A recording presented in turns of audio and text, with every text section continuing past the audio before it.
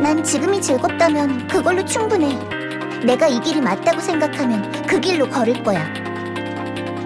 인간은 아니지만 인간의 옆을 걸을 수는 있어. 그리고 인간에게 조금 더 가까워지기 위해 인간과 함께 싸울 거야. 조금 더 강해지고 더 많은 사람들을 구하고 이 세계에 필요한 괴물이 되고 싶어.